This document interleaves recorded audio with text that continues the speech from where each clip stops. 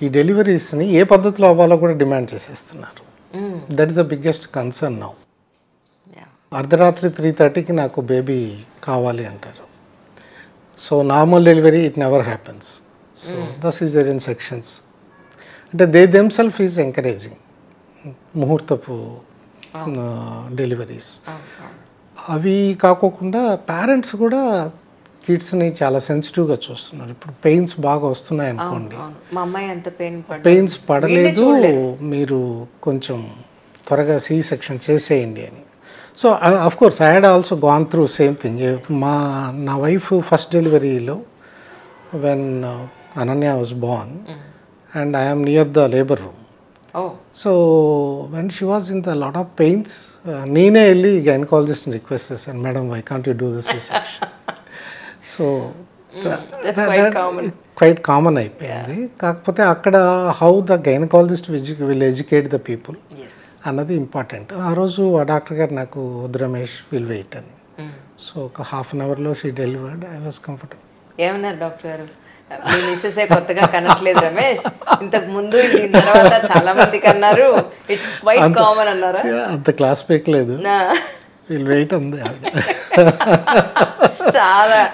Dignified ఎలిగెంట్గా మీరు కూడా doctor కాబట్టి ఏమనుకున్నది. కానీ సార్ అంటే దీన్ని మనం ఇన్ పాజిటివ్ వేలో తీసుకోవచ్చు అంటారా అంటే డిఫరెంట్ డిఫరెంట్ పెయిన్లెస్ డెలివరీస్ అన్నారు. యాక్చువల్గా వాటర్ బర్త్ కానీ లేకపోతే ఈ పెయిన్లెస్ డెలివరీస్ కానీ painless delivery methods there are multiple methods అయితే quite famous is epidural method so there are other methods like Entonox ఉంది హైడ్రోథెరపీస్ ఉన్నాయి.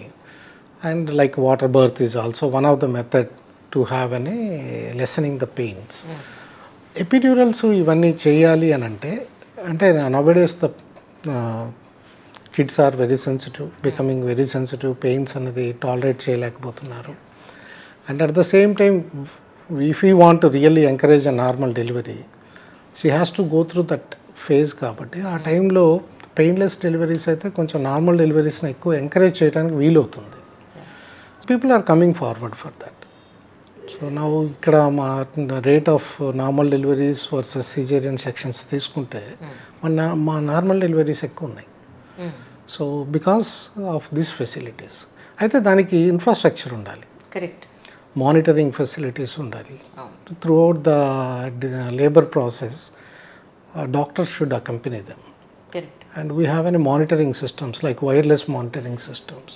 So doctors tell they get immediate attention when the fetus in the trouble and round the clock anesthetist will be there అదొకటి plus children specialist కూడా neonatologist is available Yeah. all the time 24 by 7 teams ఉంటాయి so అందుకని we can take that part and do that అంటే normal డెలివరీస్కి ఎక్కువ చేయడానికి scope ఉంది అదే రెగ్యులర్ హాస్పిటల్స్లో తక్కువ మానిటరింగ్ సిస్టమ్స్ ఉన్నప్పుడు ఇవన్నీ ప్రాక్టీస్ చేయలేము. రైట్ అంటే ప్రాబ్లం మీరు చూసింటారు ఇక్కడ గార్డెన్ ఒకటి డెవలప్ చేస్తాం హీలింగ్ గార్డెన్ అని. So that is for the pregnant lady to walk around during her labour time oh. And even though she is walking here they will be monitoring under wireless monitoring system madam కూడా doctor అండి? Yeah she's diabetologist అని. Okay MBBS తర్వాత కొచ్చిలో she did Amrita నుంచి diabetology fellowship చేసింది. So ma'am కూడా ఇక్కడే practice ఇక్కడే ఉంటుంది. ఎక్కువ ప్రాక్టీస్ కన్నా అడ్మిన్ ఓకే నేను చేసే అడ్వెంచర్స్కి. Day day to day challenges ఇస్తుంటాను కాబట్టి. కానీ నాకు హాస్పిటల్లోకి వచ్చిన వెంటనే మాకు హైదరాబాద్లో అక్కడ ఎలా ఉంటాయంటే కొన్ని హాస్పిటల్స్ అందరూ వచ్చేసే హాస్పిటల్స్ ఒక ఒక టైప్ ఆఫ్ హాస్పిటల్స్ ఉంటాయి. యా ఒక లేయర్ పీపుల్ మాత్రమే వెళ్ళగలిగి కాస్త ప్రైవసీ ఉండి క్రౌడ్ లేకుండా చాలా డీసెంట్గా.